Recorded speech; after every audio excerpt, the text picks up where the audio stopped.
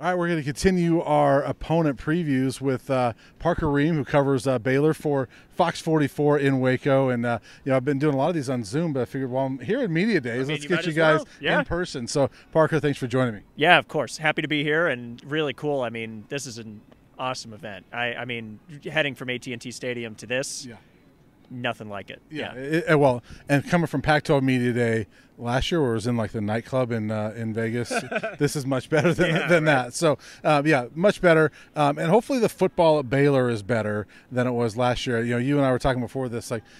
You got to feel what it was like covering Colorado a little bit last year. Three and nine, not the year that Baylor wanted, obviously. Um, you know, we've been through a lot of that with Colorado. But um, what is the vibe around Baylor coming into this year? I know, you know, Dave Aranda is it fourth year? Fourth year, fourth yes. year, and so it, it's sort of from the outside looking in, it sort of feels like uh, this is a big year for Coach Aranda. But what's the vibe around Baylor coming into this year? Yeah, I think there's a little bit more hope, at least this year, and and it's kind of a make or break year for Dave Aranda. A lot of people thought maybe last year was his ending point with with the Baylor Bears, and and he actually talked a while ago about when all the Christmas commercials start coming out. It was kind of a funny quote, but when the Christmas commercials start coming out, that's when coaches start getting fired, uh, and you know that's the kind of time it was that breaking point for him, but they decided to give him another year. So I think that's kind of where Baylor's at. It's their chance to prove this is the right regime to lead Baylor potentially, you know, to that top spot in the Big 12 and that's kind of what they're looking for right now.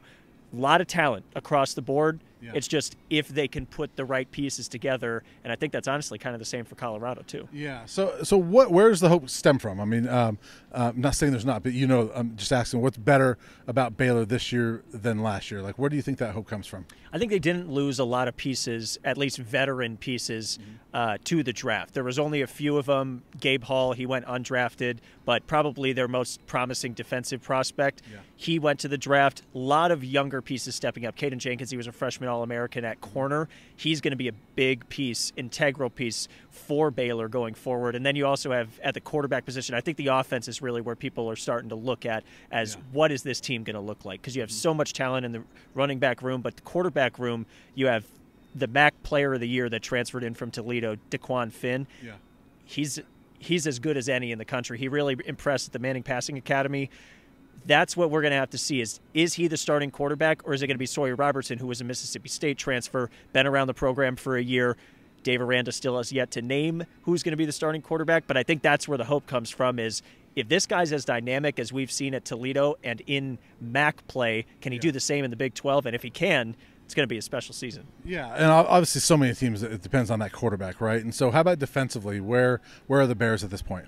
defensively, I think I think they're at a good good point. Uh, a lot of their, I guess, improvement has come through the transfer portal. You've seen a lot of those pieces kind of come through, and they've filled a lot of positions of need. Offensive line and defensive line, I think, is really where they struggled a season ago in the trenches.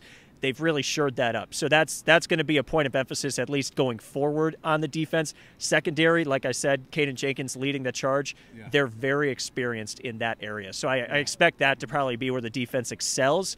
Linebacker position is also pretty good. Defensive line is the one question that really needs to be answered. Yeah, and Baylor, uh, you know, still in the Big Twelve. Colorado's rejoining the Big Twelve. Uh, this was a rivalry for a little bit. It's not as deep of a rivalry as like CU and Oklahoma State or CU and Kansas State, but they, they played Baylor a lot. And so, are, are Baylor fans excited about you know a trip to Boulder this year? Yeah, I think I think anyone would be excited mm. about a trip to Boulder. I think it's more also what Deion brings to the table here. Like he he brings so much excitement and just the feeling of going to play Colorado now. It means a little bit more. I think. Wouldn't you agree that Yeah. than it did a couple years ago when Right. they weren't nearly as good or the hype wasn't around the program. So I think it's two teams really that almost need to prove themselves this year.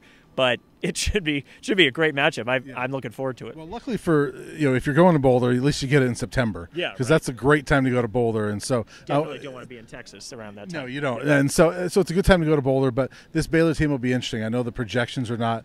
Uh, they don't. There's not a lot expected of them. So maybe that's a good thing for Baylor. And that hey, you're not expected. Maybe you can uh, you know rise up and uh, surprise some teams. Yeah, and I think that's kind of what we're hoping to see at least tomorrow. Is what are the? That's the question that's asked every year. What are the expectations of this team? What's going to be different, you know, about this team? I think that's what Dave has to answer tomorrow. Is is this team going to be another three and nine season, or are they going to compete for a Big 12 title?